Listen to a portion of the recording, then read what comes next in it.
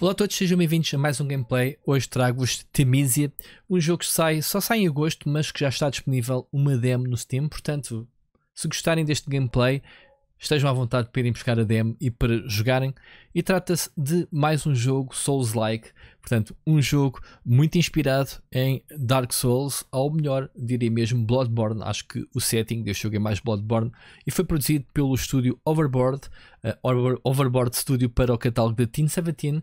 Uh, e este jogo, estive a jogar já um bocado, é exatamente aquilo que se esperaria. Um jogo estupidamente difícil, uh, em que temos que uh, matar inimigos, ganhar experiência. se perdermos, obviamente, voltamos à bonfire, que neste caso é uma cadeira, recuperar o sítio, ou a alma, digamos assim, da personagem para recuperar a experiência acumulada. E já sabem como é que funciona.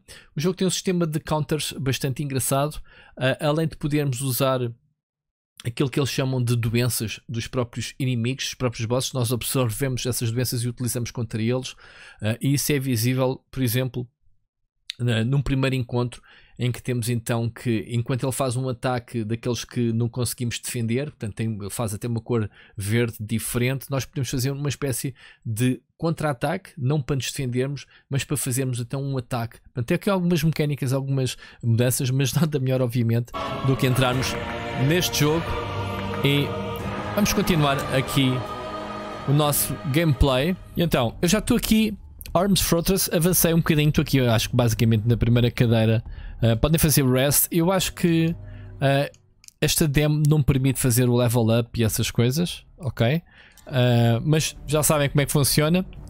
Quando morremos, perdemos tudo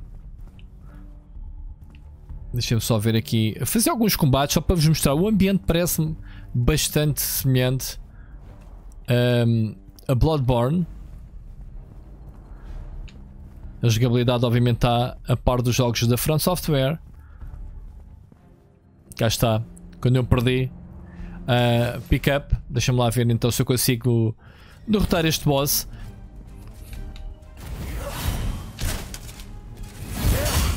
Estão a ver aquele, aquele que eu consigo arremessar? Ele é, tem um número limitado.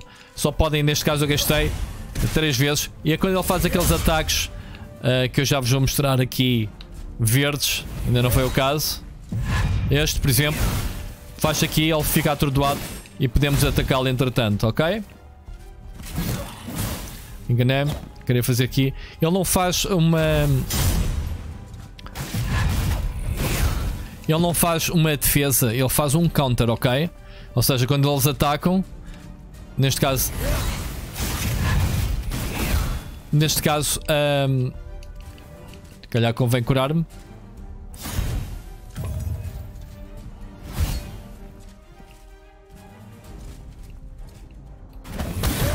Tem que ser com um timing muito apurado, senão levam. Este é um não um boss, vá lá, é um inimigo mais poderoso. Foi para introduzir esta mecânica. Eu acredito que consigo passá-lo, mas pronto, estou aqui a tentar ainda. Quando ele faz aquele ataque verde, basicamente é um contra-ataque, só que é um contra-ataque que se gasta. Ok? E quando fazem esse contra-ataque, tiram energia ao inimigo. Era isto que eu queria tentar fazer ao bocado, obviamente morreu outra vez. Portanto, ele tem esse sistema uh, de counters. Só se vocês quiserem ver um gameplay, obviamente, do especialista do Hurricane, ele já teve a jogar em live, ele deve ter no canal dele uh, a Void para vocês verem. Portanto, ele é, ele é que vos vai dar uma opinião se este jogo é, é ou não uma alternativa aos jogos da From Software, não é? A jogabilidade é bastante boa. Uh, a personagem é levezinha e é bastante ágil. É muito mais ágil que um Dark Souls, por exemplo. Uma personagem chamada Corvus, já agora. Não dá para controlar a câmera, by the way. Ok?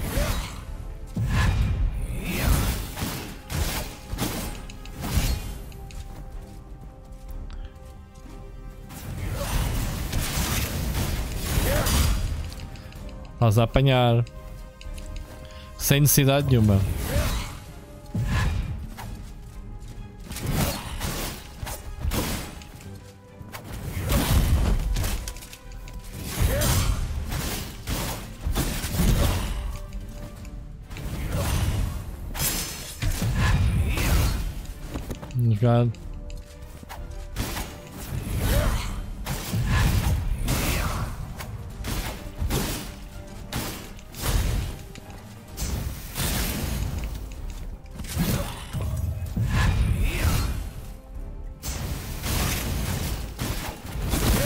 Ok, quando ele está com a barra verde, tenho que lhe fazer os ataques com o meu especial.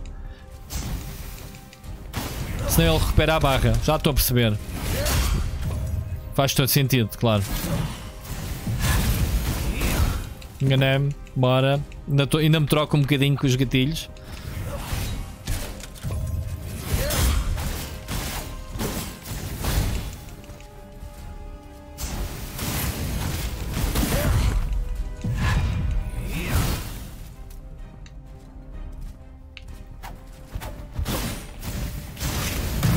Ok. Foi desta. Boa animação. Ok, apanhei a chave para o cemitério. Pronto, a partir daqui vamos embora. Vamos continuar. Eu não sei se devo ir à, à cadeira aqui primeiro, se este inimigo vai fazer respawn ou não. Já vamos ver. Rest. E resume. Já temos energia toda. Ok. E pronto, este era um semi-boss daqueles que não fazem respawn outra vez. E portanto podemos continuar aqui a explorar mais um bocadito. Ok.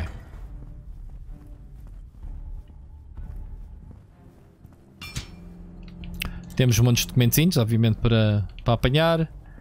Inimigos. Tem uh, abordagens furtivas. Há ataques por trás, por exemplo. Vamos ver o que, é que, que, é que nos reserva. Não conheço nada disto, portanto eu não cheguei aqui. Obviamente. Labirinto, já sabem, não há mapas, não há nada. Tenho que decorar os caminhos para e mais alguma coisa. E não há nada para este lado. Podemos subir ou descer. Calhar vamos subir cá para cima. O jogo tem bom aspecto, um bom ambiente. Cheira-me boss mesmo. Boss, boss? Não? Quem és tu? Agora é que deve ser boss. É uma boa forma de nos despedirmos deste gameplay, será?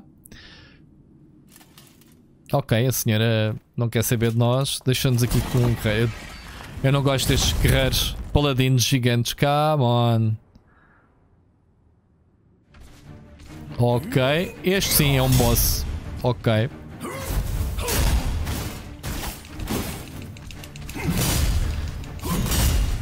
Duas...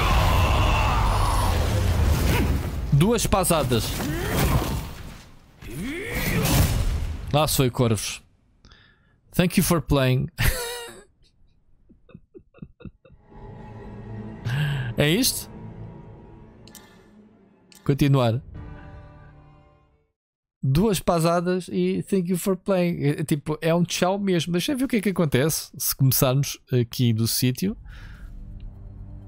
Ah, vá lá, dá-nos acesso ao boss. Mas gostei do thank you for playing. Tipo, não tens hipótese, thank you. Vamos fazer skip. Bom. Duas pasadas do gajo e já fomos. Uma já fomos.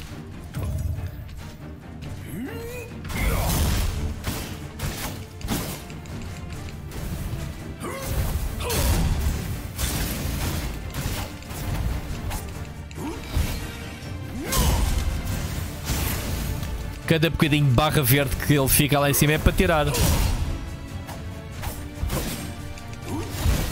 Jesus. Oi?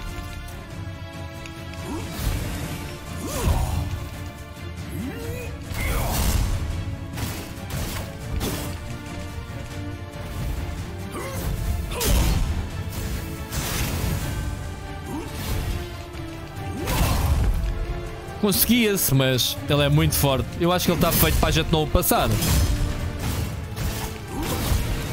Fomos. E é isto.